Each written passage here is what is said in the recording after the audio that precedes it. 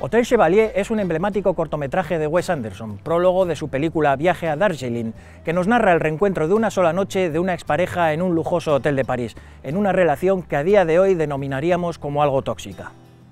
En el ficticio y lujoso Hotel Chevalier nos encontramos a Jack, interpretado por Jason Schwartzman, que por razones que desconocemos se encuentra en un periodo de autorreclusión en esta suite de lujo, hasta que recibe la llamada catalizadora de su exnovia Reed, pidiéndole el número de habitación para encontrarse a solas con él. Reed no es ni más ni menos que Natalie Portman. ¿Y cómo sabemos que ella se llama Red si el corto no lo menciona? Pues porque lo hemos averiguado leyendo el guion original de Hotel Chevalier, publicado exclusivamente en esta revista literaria, Zoétrope All Story, del maestro Francis Ford Coppola. Con la llamada de Red, algo hace clic en la cabeza de Jack. Ordena y redecora la habitación con objetos de lo más diverso, que aún tenía sin desembalar. Se pone un traje elegante y prepara el momento del reencuentro hasta el más mínimo detalle. Una vez se presenta el personaje de Portman, es ella la que adopta el papel dominante, alterando los arquetípicos roles de chico y chica. Red tiene una imagen un tanto andrógina, como con corte de pelo a lo garzón, estilo Ginseberg en Abu de Souffle de Godard. Lleva un característico palillo en la boca y le entrega un ramo de flores a un Jack rendido a sus pies, aunque al principio le haga la cobra. El reencuentro es un poco ambiguo, se intercambian diálogos que nos van revelando pedazos de una relación ya casi extinguida.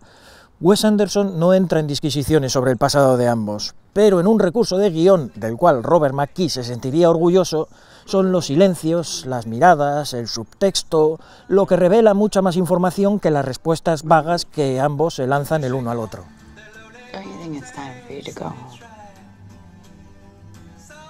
Como es habitual, Wes Anderson deja pequeños interrogantes a modo de huevos de Pascua aquí y allá. Esas maletas de viaje tan características donde hemos visto a Red esconder un misterioso paquete, los moratones en el cuerpo de ella apostando por una historia abierta, donde como siempre el planteamiento estético juega una parte sustancial en la narrativa de Anderson.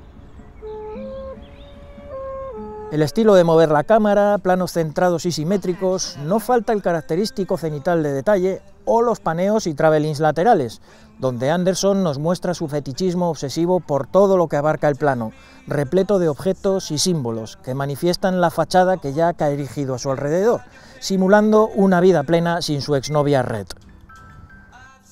Tampoco falta el plano de slow motion final, donde se vuelven a tornar los roles, en el que Jack, en un acto de caballerosidad y de plena confianza en sí mismo, cubre el cuerpo desnudo de Red, con el ya famoso albornoz amarillo del hotel. En esta composición de plano, Anderson pone de relieve connotaciones pictóricas, simbolizando al personaje de Natalie Portman como si de una odalisca se tratara. Momento que nos lleva a ese paseo hasta el balcón, una vez que las preguntas incómodas hayan frustrado su encuentro sexual, Jack invita a Red a disfrutar de sus vistas de París. Ambos han abandonado esa fachada impostada con la que jugaban. Jack la conoce y ella lo sabe, de ahí el detalle del palillo. La vista al final no es gran cosa, pero ellos están a gusto, en un momento de entendimiento mutuo, aunque sepan que su relación vaya a quedar inconclusa.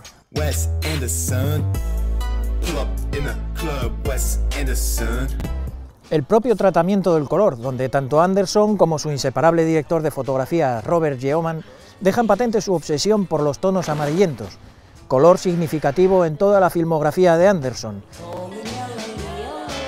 En Hotel Chevalier, el amarillo está impregnado por toda la habitación, destacando, como no, el ya famoso albornoz amarillo, algo que sabiendo lo cinéfilo y francófilo que es Wes Anderson, habrá homenajeado de títulos como Le Mépris, El desprecio, de Jean-Luc Godard, con toda una Brigitte Bardot. Godard repetiría atuendo fetiche años más tarde en Prenom Carmen. Catherine Deneuve también lo luciría en Hotel de Sameric, rodado en la vecina Biarritz. Y por último, María Schneider lo llevaría en The Passenger, el reportero de Michelangelo Antonioni, un albornoz amarillo que el propio Godard compararía con la pintura de Vincent van Gogh.